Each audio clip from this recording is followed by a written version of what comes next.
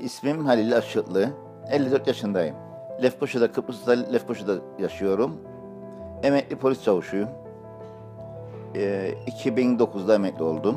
29 Eylül'de 2016'da yılında kalp krizi geçirdim. Evde düştüm, bayıldım. Hanım e, ambulans çağırdı ve hastaneye kaldırdılar bizi. 10 gün kadar yoğun bakımda kaldı. İki tane anjiyo oldu. Sonra taburcu olduk.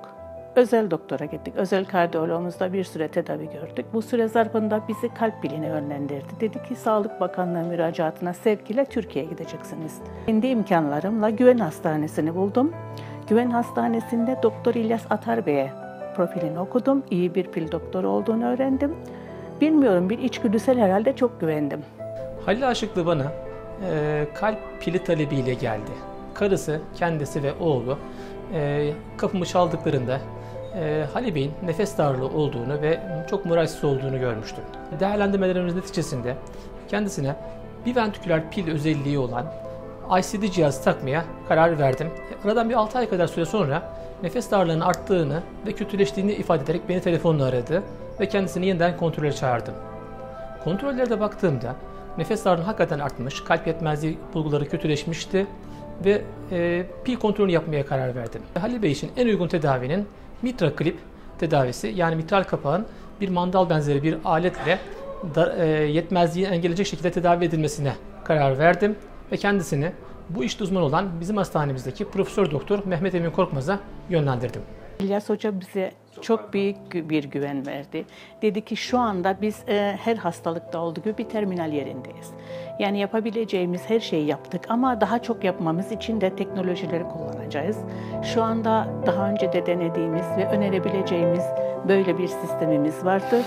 Bu konuda Mehmet Bey size yardımcı olacak. Böyle bir şey düşünürseniz ya da böyle bir şeyi düşünün. Bu bir avantaj size. Mitral yetmezlik ya da mitral kaçak önemli bir sorundur.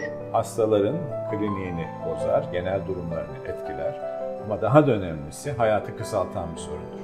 Bunun mutlaka düzeltilmesi gerekir.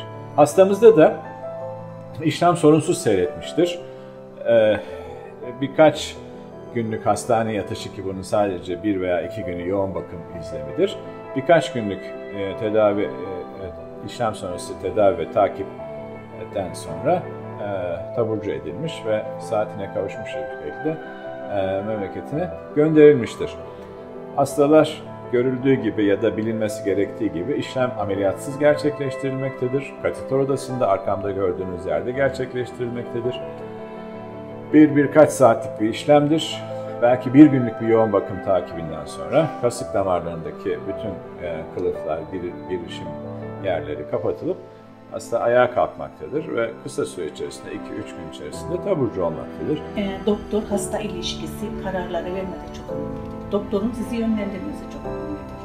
Hasta doktor ilişkilerinde eğer bir doktor size istediği, siz doktora istediğiniz anda ulaşabiliyorsanız, üstelik Kıbrıs gibi bir yerdeyseniz ve telefonun ucunda doktoru gece 10'da arayabiliyorsanız ve size cevap verebiliyorsa veya doktor yurt dışındaysa, konuşamıyorum diye mesaj geçip tekrar sizi arayıp neyiniz var diye soruyorsa o doktorunuza güvenirsiniz. İlyas hocam benim başlangıcım, Mehmet Emin hocam da benim yoldaşım. Bu çok büyük bir başarı. Bu Türk'ün gururu bence.